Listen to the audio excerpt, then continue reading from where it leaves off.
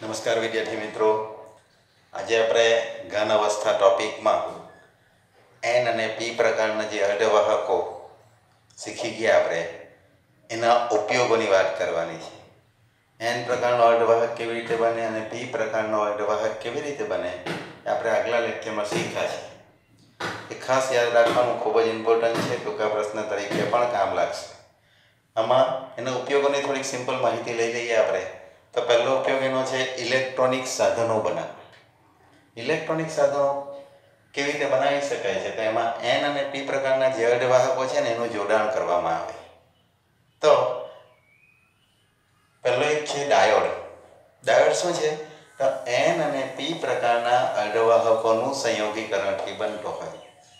અને એ ડાયોડનો ઉપયોગ ક્યાં થાય છે? તો રેક્ટિફાયર તરીકે થાય છે. સિમ્પલ એક ઉપયોગ. બીજું ટ્રાન્ઝિસ્ટર બનાવવા માટે. ટ્રાન્ઝિસ્ટર પણ શું છે? ટ્રાન્ઝિસ્ટર એવું છે કે એન અને પી પ્રકારના અર્ધવાહક હોય અને એની વચ્ચે સેન્ડવિચ જેવું કરીને બનાવવામાં આવતો હોય.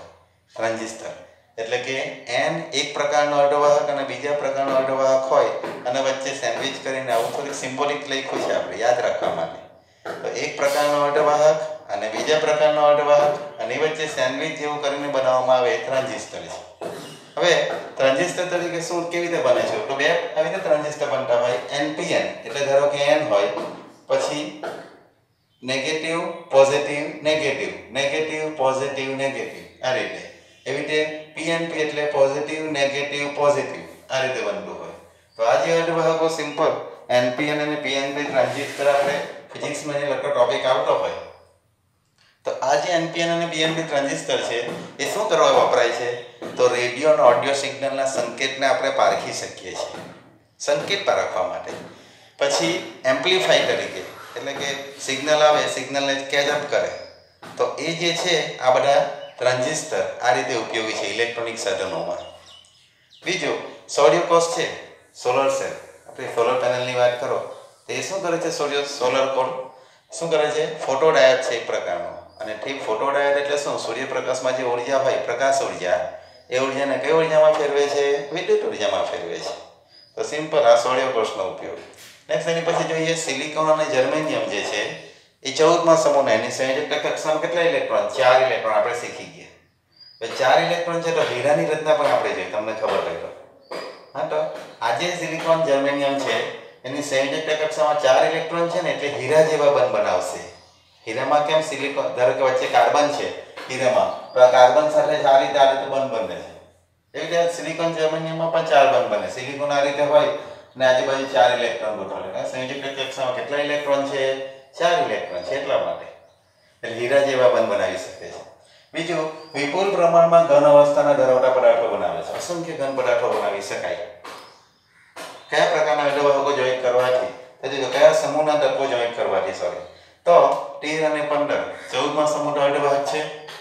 તેની આજુબાજુ છે તો તેર અને બાર છે આ બાજુ તો પંદર અને સોળ છે તો આ તેર અને પંદરના તત્વો ભેગા કરીને પણ અર્ધવાહકો બનાવવામાં આવે છે બાર અને સોળ તત્વો ભેગા કરીને પણ અર્ધવાહકો બનાવવામાં આવે છે આપણા ઉદાહરણ પણ આપ્યા છે જોઈ લો ઉપર એકદમ સિમ્પલ છે તેરમા સમૂહના તત્વો તો એલ્યુમિનિયમ ગેલિયમ અને ઇન્ડિયમ તેરમો સમૂહ અને પંદરમા સમૂહના તત્વો તેર અને પંદરને બનાવેલા છે ભેગા કરીને એટલે ફોસ્ફરસ આર્સેનિક અને એન્ટીમની આ પંદરમા તત્વો તો એલ્યુમિનિયમ બી, એલ્યુમિનિયમ ફોસ્ફાઇડ છે, ગેલિયમ આર્સેનાઇડ છે ઇન્ડિયમ એન્ટીમની છે આ આ છે ને, એ બધા સંયોજનો બન્યા છે.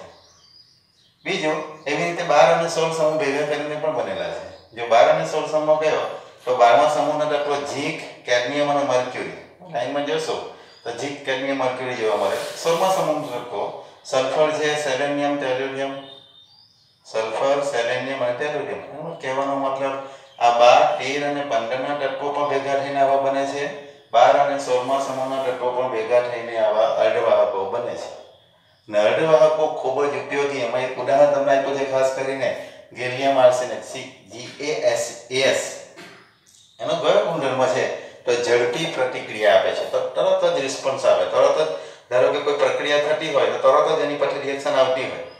તો ઝડપી પ્રતિક્રિયા આપે છે એટલા માટે ક્વિક રિસ્પોન્સ ઇંગ્લિશમાં કેવું હોય તો ક્વિક રિસ્પોન્સ હવે આ જે ઝડપી પ્રતિક્રિયા છે, એને લીધે આપણે જે અર્ધવાહકોના સાધનો બનાવવામાં આવે છે ને, એમાં ક્રાંતિ સર્જી છે હમણાં આ તત્વએ ગેલિયમ આર્સેનાઇડ સંયોજન તો એ ખૂબ જ ઉપયોગી ગેલિયમ આર્સેનાઇડ કેવા ગુણધર્મ દર્શાવે છે? ઝડપી પ્રતિક્રિયાનો.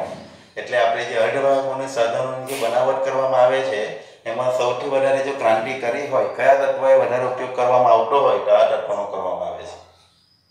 ચલો પછી બીજું કેટલાક સંક્રાંતિ ધાતુના ઓક્સાઇડની વાત કરી.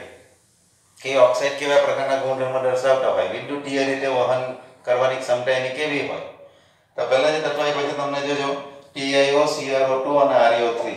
આ ત્રણ ટીઆઈઓ, સીઆરઓ ટુ અને આરઈઓ થ્રી. રેનિયમ ઓક્સાઇડ. ફરીથી બોલું છું. રેનિયમ ઓક્સાઇડ. એ વાહકતા અને દેખાવ કોપર જેવા હોય. એની વાહકતા અને દેખાવ કેવા હોય? કોપર જેવા. ટૂંકો પ્રશ્ન બીજો એક. રેહેનિયમ ઓક્સાઇડની વાહકતા અને દેખાવ કોના જેવા હોય છે? કોપર જેવા. ટૂંકો પ્રશ્ન? અને બીજું, કોપર જેવા કોપર કેવું છે? ધાતુ છે. તો આ બધા જે તત્વો છે ને એ ધાતુ જેમ કામ કરે. વિદ્યુતનું વહન દર્શાવે.